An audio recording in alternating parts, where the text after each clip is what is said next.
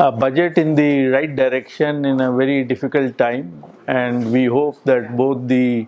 reliefs given to low income uh, assessees will generate demand and uh, the consumption rising will lead to more investment and will go into a virtuous cycle. Uh, They have also uh, shown uh, tremendous investments in infrastructure, especially 1 lakh 3,000 crores in uh, 60 odd projects which have been cleared, along with the promotion of uh, investments coming from uh, sovereign funds from abroad, which will be tax free. All this means the government is serious about putting investments into infrastructure, which will make the industry much more competitive and generate more employment.